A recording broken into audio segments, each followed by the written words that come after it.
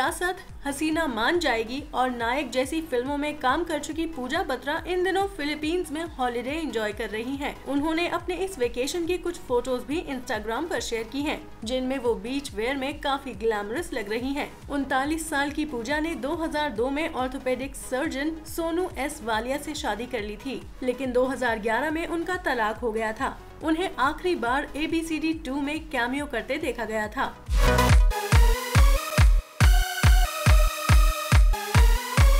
अभी वीडियो को लाइक करें, शेयर करें और अभी चैनल को सब्सक्राइब करें। इसी तरह की चटपटी न्यूज़ देखने के लिए फिर मिलेंगे मसालेदार खबरों के साथ। Bye bye